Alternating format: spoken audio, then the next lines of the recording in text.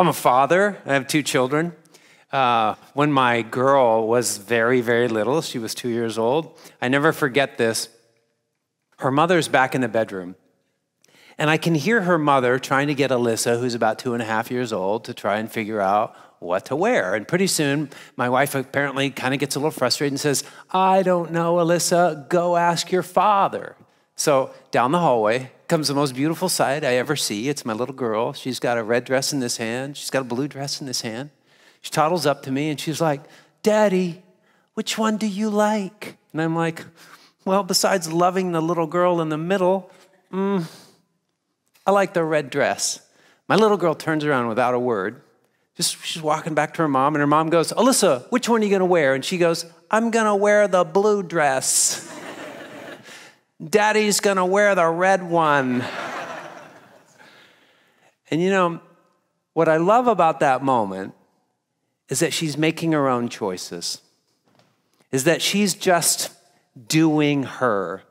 And I think that has a lot to do with what everybody who graces this stage is going to be sharing from their visceral life experience is what if you really just do you? E.E. E. Cummings said that's the hardest, most notable, worthy battle you'll ever fight in your life is you to be you. But actually, the way I plan to open this this day, and let me welcome you to Bliss Talks. Give yourselves a hand for being here.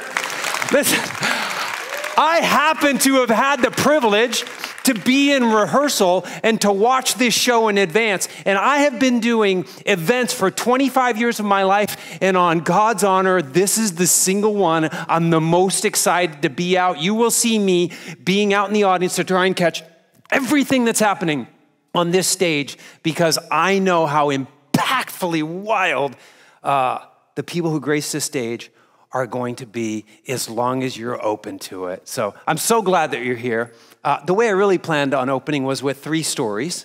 Do you guys like stories? You want to hear stories? Three stories? So I thought that instead of just telling three stories the ordinary way, I would try to tell three stories all at once. Have you ever heard three stories all at once? Let's try it, all right? So this is a true story about a comedian. This is a true story about a connoisseur. And this is a true story about a catastrophe, sir. And you could take the heat off of my mic a little bit, please. All right, let's start. Chapter one The Comedian. Comedian's name is Jeff. Jeff, um, well, he used to do comedy in college all the time. As a matter of fact, Jeff would put on his own shows in the dormitory cantina, pack them out. 200 people close the door, the other 100 cannot get in. And Jeff was so crazy funny. Everybody's like, Jeff, you're going to Saturday Night Live. But, you know, after college, uh, Jeff got a job with a company. It's okay. And he's got a beautiful family. The connoisseur in our story is Amy. Amy is a connoisseur of comedy, no less. Matter of fact, she loves her job because she travels the world just searching for the next rising star in comedy. And if she finds the one, Amy is the rainmaker who sends them to the big show. My friends, unfortunately, I, Patrick Combs, am the, am the ca- catastrophe in this story. And it has just happened to me. I'm at Brookdale Community College in their theater in New Jersey, and I have just bombed, probably like no comedian has ever bombed. Um, I'm horrified at what I just put the audience through for a painful two and a half hours that they will not get back from their life. And I just want to disappear into the green room and crawl home and perhaps never see another human being in my life. That was my ninth attempt at comedy. I'm not getting better, I'm getting worse. Chapter two. So, Jeff, the way he keeps his hands in on comedy uh, is this. He, he applies for the San Francisco Fringe Festival. It's a tiny little theater festival. It's not even curated. It's not a matter of how talented you are. It's actually a lottery. Which just means, well, you got a hundred bucks and you got the title of a show, you throw it in, and if you're drawn out of the hat, then you are in a legitimate, tiny, 40 uh, person theater for six shows. So Jeff puts his name into the hat, hoping to be picked. Amy flies into San Francisco from New York um, after, or from London after seeing comedy there, and she watches comedy in San Francisco, but she doesn't feel that she's seen the one that she's looking for, the rising star. So she's on her way to fly out to New York, but lo and behold, unexpectedly, her flight is delayed, which means she's got time to kill now for an evening in San Francisco. After the catastrophe, I have gone into the green room, my friends, and I've closed the door, and I'm just hoping nobody wants to talk to me. But there's a knock on the door. It's Scott. Scott is actually my best friend. Scott was the best man at my wedding. We go way back. I invited Scott to see the show that night because I thought I was going to do good. And Scott is a talent agent. So I was going to get his professional opinion. I don't want it now. But he comes in and he goes, Patrick, you know I love you. And you don't want to hear that, right? You know I love you, but you're embarrassing yourself. I'd go so far as to say you're humiliating yourself. You got to stop. I'm funnier than you are, and I'm a talent agent. And we give a hug, and he leaves. And there's another knock on the door. Damn it, I invited Martin too. See, Martin is Canada's top motivational speaker. He's a friend of mine. Um, and, you know, I just, I value his opinion so much that I had him fly a thousand miles to watch me bomb like this. Martin comes in the door. Patrick, you know I love you, brother. and tonight is the best I have ever seen of you. You liked my show? No, man, your show is shit. then why would you say this is the best you've ever seen? Because I didn't know you had so much courage, brother. So much courage to go after this new dream and walk through fire to try and get there. My friend, if you just keep taking small steps, you're gonna go giant places. And I think to myself, stupid motivational speakers and he excuses himself. And I crawl home to San Francisco and I decide I gave it the good old college try for nine months. This comedy thing, although I dreamed of it, I don't have what it takes and I quit. Chapter three. Jeff is just, you know, doing what we all do. He's cruising around on the internet one night, and suddenly he comes across a name he hasn't seen in 12 years somebody that he went to college with, somebody that remembers actually did an appearance at one of his comedy cantina nights, right? And he decides, oh, I wonder what he's up to. Uh, and he calls, reaches the guy, and they have a catch up phone conversation. Amy, killing time in San Francisco, actually looks up and sees, oh, there's something called the San Francisco Fringe Festival. Uh, she thinks, maybe I can see some comedy there. And so she buys secures one of the last available tickets for a show that's got a huge buzz on it. It's selling out, and uh, it's comedy. You got to fast forward six months in my life. I tried to give up comedy, but my heart wouldn't let me. And I have just experienced something that I will take to my grave. I'm at the San Francisco Fringe Festival and I just did a successful show. I sold it out. It's a tiny theater. It's not anything to brag about. It was only 40 people, but for me, it was like, oh, I, I just always dreamed of telling an audience a story and, and having a sellout is, you know, the height of that dream. And I made people laugh. I did. I could tell I made people laugh with the story. I'm so, I'm over the, I'm overflowing with love. Like, I'm overflowing with bliss. It's actually perhaps one of the peak moments of my life, aside from the birth of my children. A woman comes up to me uh, as the audience is filing out and she says, You were funny. And I go, Oh, thank you so much. It's a funny story. She goes, No, you were funny. We should talk. And she hands me her card. The woman is Amy. Unfortunately, Jeff didn't get his name drawn out of the hat that year. But fortunately, I'm the person that he spotted after 12 years and decided to just call and catch up on. Jeff is the reason I knew that San Francisco Fringe Festival existed. Jeff is the person that said, You should apply. We should talk. And she hands me her business card. I take her business card and I look down on it, and I can barely believe my eyes. H B O. I've seen those letters before. And two months later, because Amy selected me as the quote, rising star that year, I was performing in Aspen, Colorado at the number one comedy festival in the United States of America with these people. And let me tell you, it was freaking intimidating. I was so scared, but it was actually also one of the times of my life.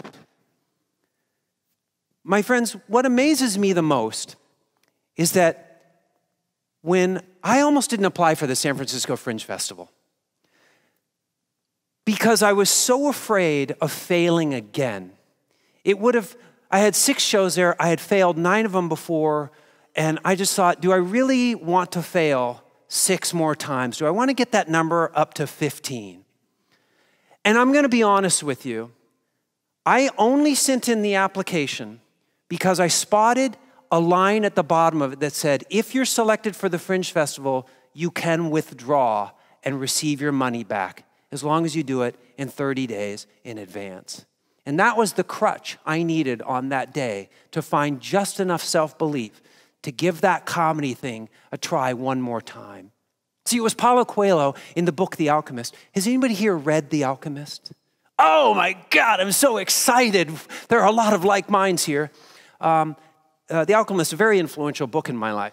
Uh, and he says, Fear is the only thing that can stop a person from reaching their dreams. And this is what I feared when I stepped into comedy after 10 years of inspirational speaking. Uh, I looked at it and said, Yeah, but I have no acting lessons. And what I'm attempting to do in my form of comedy is it involves a ton of acting. And I didn't go to acting school, but I also had zero theater experience, unless you account, I mean, to be honest, I was in Oliver in second grade. I was workhouse boy number two.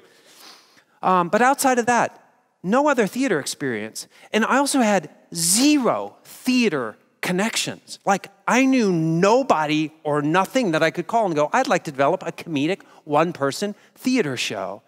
But worse than that, if you're going to put together a one person theater show, you better have a director, right? If you've got no training and you don't know what you're doing, you better have a director. Ah, there's no way I could get a director. So I also was going to go into the endeavor with no director. But but really, truly, the worst thing of all uh, was that aside from having no script and I wanted to do a show, you're supposed to be funny in comedy. Okay? And here's what happened to me in my life I was inspired to do a one person show at about 22 years old because my girlfriend took me to a theater and we saw a guy perform a one man show, and his name was Spalding Gray. Has anybody here ever heard of Spalding Gray? Yeah, you can give, you can give Spalding Gray a round of applause because Spalding Gray started the entire medium that I dreamed of being in, right, in New York, in New York. But, but here I am dreaming of Spalding Gray, who, who literally, the, his movie was filmed, his theater performed so good that Jonathan Demme filmed his performance and it was released in theaters nationwide and it made him a star and he won Tonys and he toured the country. I mean, he was the pinnacle of talent in the medium I was dreaming of with all these things against me. But see, when I walked out of Spalding Gray at 22, I turned to my girlfriend and I said, Oh my God, what I would do, what I would give to do what he just did. And she said, Yeah, but you'd have to be funny. and you know what? All of us are vulnerable somewhere in our dream. And that was like an arrow that went where I had zero armor. And I thought, it just burst a balloon instantly. And I said, Yeah, I'm not funny. What was I thinking? I got all caught up in how funny he was, how easy he makes it look. And I put that dream away for 10 years. I would not start those attempts at comedy for 10 years from paralyzing lack of self belief. But there's this. And if there's one quote that I steer my life by now after 30 years of working on my bliss and my dreams, it's this one. It was said over a thousand years ago by a sage named Patanjali. And Patanjali said, when you are inspired by some great purpose, some extraordinary project, then all your thoughts break their bonds. Your mind transcends limitations and your consciousness expands in every direction, and you find yourself in a new, great, and wonderful world. Dormant forces, faculties, and talents become alive, and you discover yourself to be a far greater person by far than you ever dreamed yourself to be. See, when I finally took up the bliss of a one person show, it was my extraordinary project, and I became that better person, and it enabled me to rise to the occasion. As a matter of fact, uh, it, the promise of a new and wonderful world in my life, my bliss looks like this looking out and seeing theater audiences like that, seeing promotion in the, in, in the London Times that large, seeing that kind of promotion for my event. This is my bliss, is looking out and, and knowing I, my job is to make those people laugh, to take these people onto a journey. And, and then to receive accolades like this after failing for a year, even if they're misspelled on recession, I'll take it. All right? um, to make lifelong friends in a country I never dreamed of, Ireland, to go to Edinburgh and play the number one festival in the world, which took me to the cafe across the street that I didn't know existed, the Elephant Cafe, where I found this postcard of that woman, J.K. Rowling's, while she's writing a book that the world will later know, but currently she's struggling to believe in herself in this photo. And I went in this cafe and, hey, for fun, if you stand here and you look right that way, you see a castle. And I saw this on TV. On Jon Stewart was interviewing her when she wrote Unusual Vacation, the first book to come out after Harry Potter. And Jon Stewart said, I think it's brave uh, of you to write a second novel after the great success of your first. And she said, and I grabbed a pen and wrote it down so freaking fast. I think the brave thing was working on something for seven years with no hope of getting it published. I look back and think, I was brave then for showing a lot of self belief.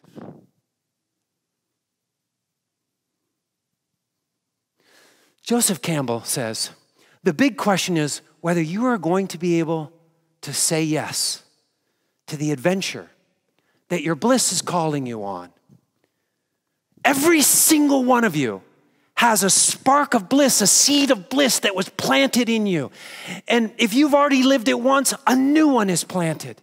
All of us at every point in our life can look inside, uh, can find our way to this magical, mystical calling that calls us to an adventure into the unknown, but also has in store for us the greatest treasures we'll ever find in our life. And that's why that opening clip where he says, if you do follow your bliss, you put yourself on a kind of track that has been there all the while waiting for you. And the life that you ought to be living is the one that you are living. Follow your bliss and don't be afraid. And doors will open where you didn't know they were going to be.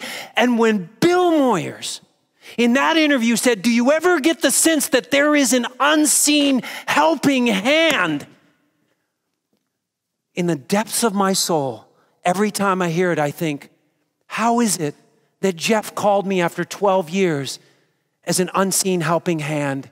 How is it that Amy's flight got delayed and she wandered into a festival that HBO refused to send people to for 20 years and wandered into my show. That is my personal evidence of a guiding, unseen hand. What makes you come alive? Where is your joy calling you to? What do you dream of being great at? Many things will spark your imagination, but what pulls at your heart? Who in the world do you see living your rapture? I saw mine through Spalding Gray. Here's the thing my friend Lanny, his bliss was the Olympics and rifle shooting, and by gosh, he won. He won a gold medal. I'm standing next to him one day and he says, Patrick, you see all those people on the stage. What do you think they have in common? I said, I don't know. I mean, athletic ability, persistence. He said, Yeah, yeah, yeah. What else? I said, I don't know. He said, Patrick, there's not a realist among them. There's nothing realistic about going for the Olympics. They're all dreamers.